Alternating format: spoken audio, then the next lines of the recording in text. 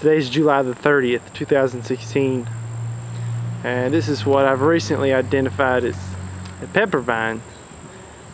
And I've never seen honeybees work anything so hard before.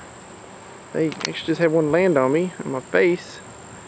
There's thousands of them. They're, this vine is growing in this bush here, and I mean, they are absolutely covering it up.